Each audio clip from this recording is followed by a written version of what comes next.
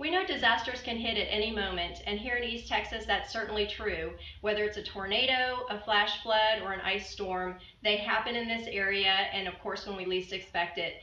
The best way for you to be prepared when you've got pets at home is to have a disaster kit already pulled together. Put some items in a tub and store it away so that if you do have a situation like that, you are ready to go and you don't have to worry about forgetting something important. Some great examples of things to include in your disaster kit include a photograph of your pet. If somehow your pet gets away while you are away from home, you need to make sure you've got a way to let people know who they're looking for.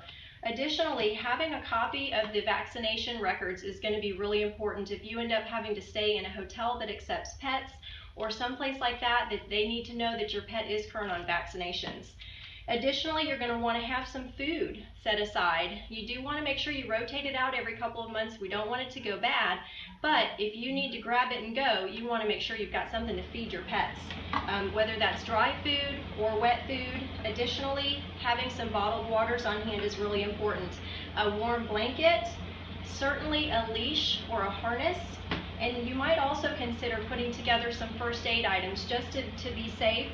You can throw in some trash bags and some other items like that. So hopefully that's enough to get you started, but if you would like a complete list of our suggestions of things to have on hand, just visit our website at longviewanimalhospital.com and we'll have some additional details on there for you as well. Thanks so much.